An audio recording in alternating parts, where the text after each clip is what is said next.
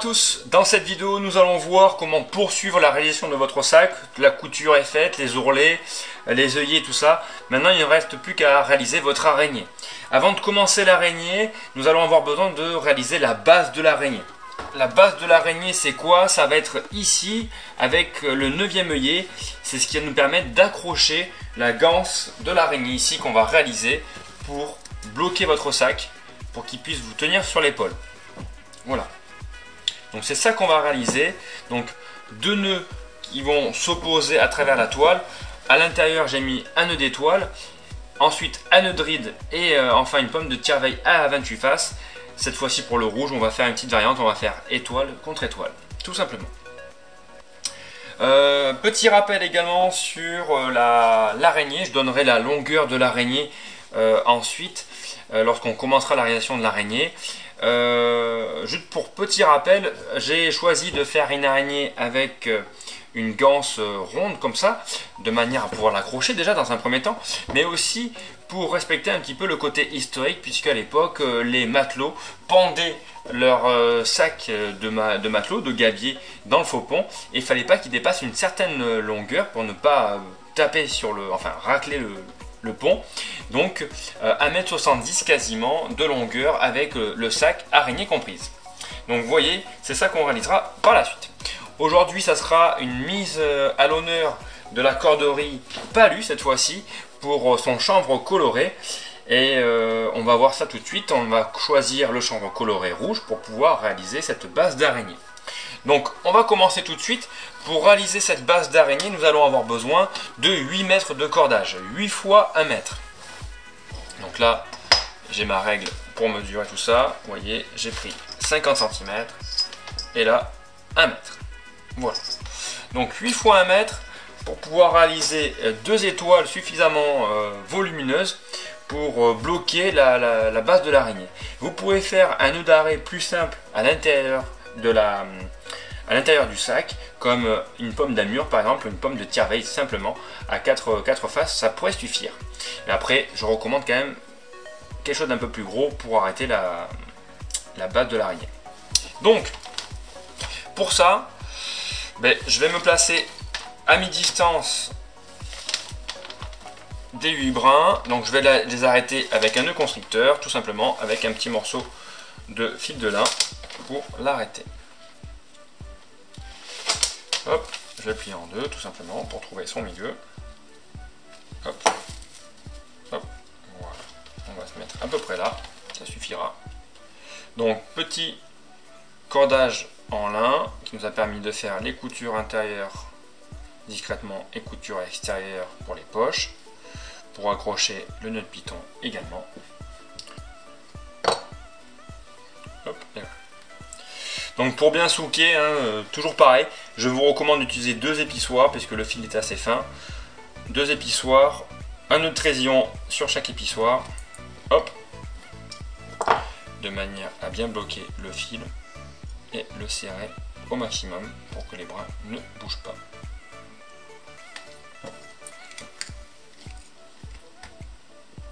Voilà, ça donne beaucoup de tension. Voilà, pas besoin d'aller jusqu'à la rupture, pas besoin de casser le fil. Hop, le petit couteau de, Gilles qui coupe toujours aussi bien, un vrai bonheur. Ensuite, ce que je peux vous recommander sur ce cordage, tout cordage en chambre est assez, assez rigide, assez raide. Euh, vous pouvez casser un peu la fibre pour, pour l'assouplir en venant racler votre épissoir comme cela. Ça va venir l'assouplir un petit peu et le rendre plus facile à travailler puisque sur l'étoile on va aller dans tous les sens donc autant qu'il soit discipliné. Pour engager le travail je vais juste faire un petit, euh, une petite tête de mort pour que tout se tienne sur le sur le constructeur comme ça ça bougera pas ça l'arrêtera et ça sera aussi bien.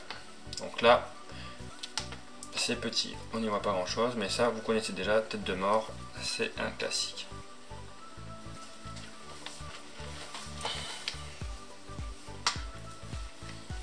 Voilà, une fois que la tête de mort est réalisée, ben, je vous invite à réaliser votre nœud d'étoile que vous connaissez déjà. Donc là pareil, hein, je vais quand même survoler le sujet. On verra les étapes si, si vous le souhaitez, mais rien de bien méchant ici. Vous connaissez déjà le nœud d'étoile. Alors là c'est petit évidemment, mais s'il y a besoin, on s'en référera à ma vidéo, le nœud d'étoile à plusieurs brins. Donc là, à 8 brins, ça change rien de la méthode.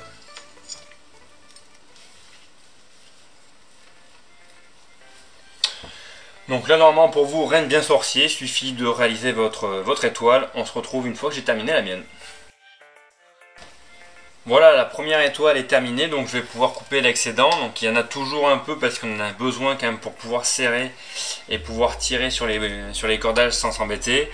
On peut prévoir un peu moins, effectivement. Euh, je pense même 10-15 cm pourrait euh, suffire. Enfin, 10-15 cm de moins pourrait suffire. Euh, voilà, après ça peut vous permettre de faire autre chose. Là, moi je m'arrête là, c'est juste un nœud qui va permettre d'arrêter la base de l'araignée. Donc pas besoin d'aller au-delà au -delà de ça. Donc il ne plus qu'à couper ça. Donc là tout simple. Donc tenaille tenaille, ciseaux ou couteau, hein, ça à votre appréciation. Là, c'est vous qui voyez. Je sais que prochainement, moi je m'achèterai une paire de pinces coupantes pour couper justement le cordage au plus juste, parce que là, vous voyez, ça peut faire des, petits, euh, des petits morceaux de cordage qui dépassent. C'est pas très propre, mais là c'est à l'intérieur, donc je me dis que c'est pas forcément là qu'on va attendre l'esthétisme parfait.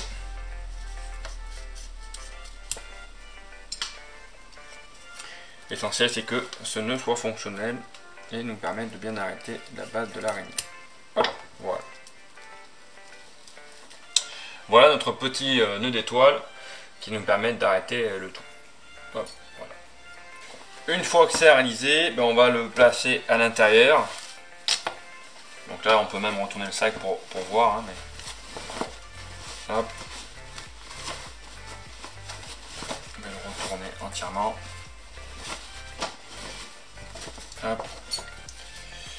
placer, je vais passer mes 8 brins à travers, tout simplement.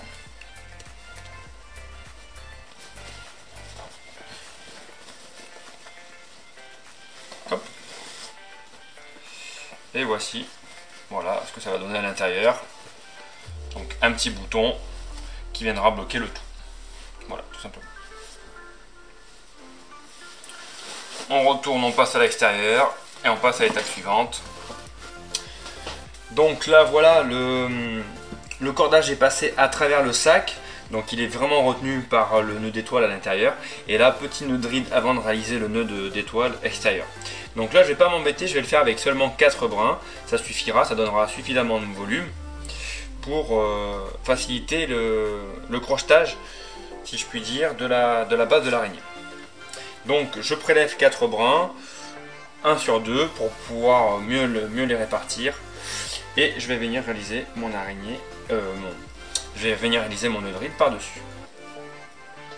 Donc je vais me servir de la méthode de Loïc pour bien plaquer mon nœud de ride sur la base de mon sac. Ça après, pareil, hein, je mets en description de la vidéo euh, le didacticiel, le tuto pour euh, suivre ce genre de choses. Donc ça, ça, ça. Alors je le fais à 4, j'aurais pu le faire à 8. Mais euh, voilà, de ride à 8 brins, c'est pas forcément évident à monter. Donc là, j'ai pas envie de trop m'embêter. De toute manière, le rendu sera suffisant. Donc je vais venir le plaquer comme ça sur la base. De manière à ce qu'il vienne bien tourner dessus.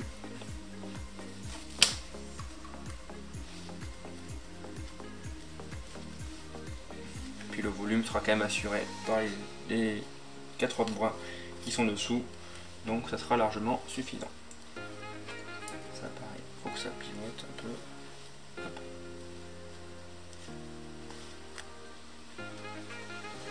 Je mets en place, s'il y a besoin un petit coup de maillet pour lui donner de la forme et de la consistance.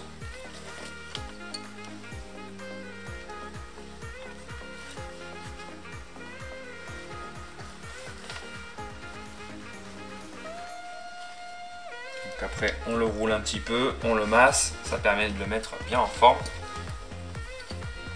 Et surtout on sert bien en tirant vers la queue du cordage.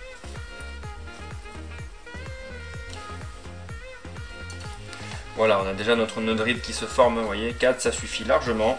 C'est pour donner juste un petit bouton, une petite surépaisseur pour, voilà, pour tourner autour du nœud de ride, pour qu'il vienne se placer sur le nœud de ride, euh, derrière le nœud, d'étoile tout simplement. Là il suffit de bien le souquer, tout simplement.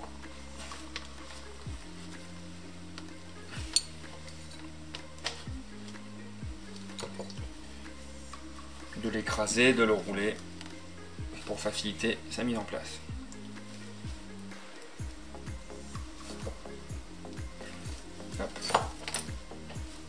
Voilà, je termine ça de mon côté et ensuite on démarre le nœud d'étoile pour terminer euh, l'accroche.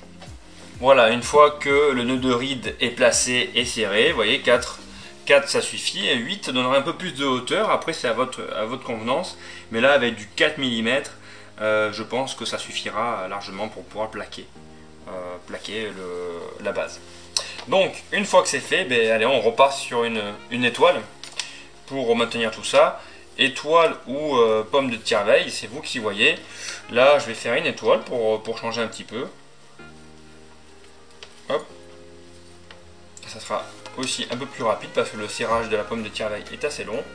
Le nouage aussi. Et là, ça me paraît bien, ça va changer un peu de forme le nœud d'étoile est vraiment un nœud élégant, je trouve. Donc, qui ira très bien avec puis jamais ce nœud d'étoile. Ça fait comme une fleur un peu avec ses, pétales, ses 8 pétales ici. Hop, voilà. Même là, c'est déjà joli, je trouve. Franchement, ça donne un bel effet.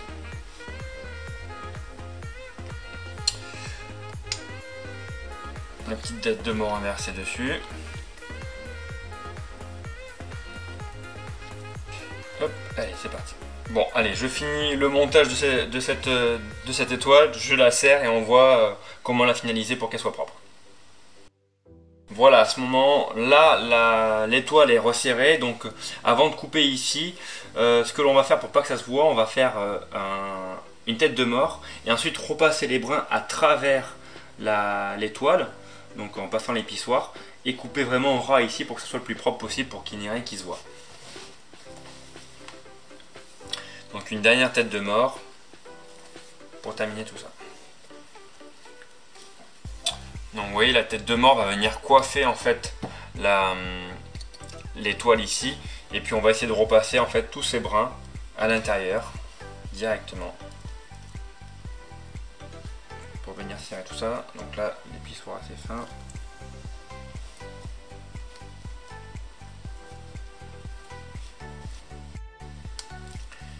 Vous voyez, je repasse vraiment au centre. Je repasse vraiment au centre de, de, la, tête de mort qui est au centre de, l'étoile. Je passe en essayant d'alterner brin après brin.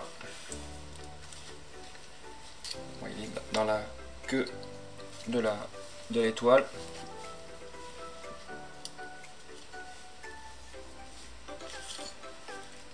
De manière à ce que tout ça ne se voit pas après par la suite? En alternant bien, comme ça ça va faire une belle couronne par dessus et on pourra couper au ras de l'étoile pour ne pas voir cette tête de mort. Donc là un épissoir le plus fin possible pour ne pas trop ouvrir ce que vous avez fait, ne pas casser les fibres.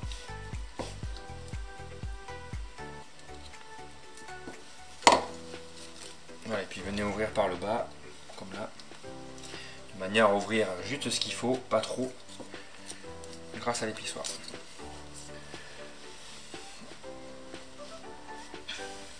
Et voilà, donc une fois que c'est passé, je vais pouvoir couper ici au ras, et comme ça on verra euh, vraiment rien qui dépassera, très très peu, et ça sera plutôt élégant.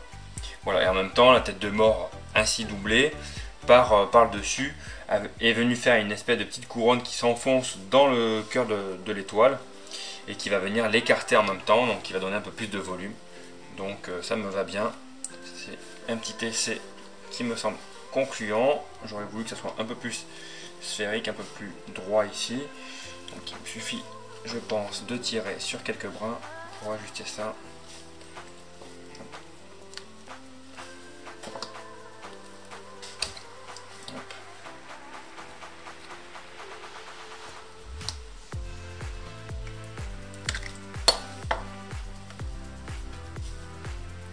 Voilà. Là, ça me paraît vraiment bien. C'est bien serré, c'est bien, bien, bien raide.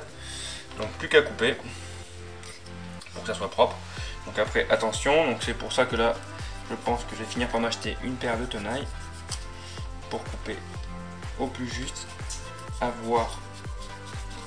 Vais pas être embêté avec le couteau parce que ne pas couper quelque chose qu'il ne faudrait pas.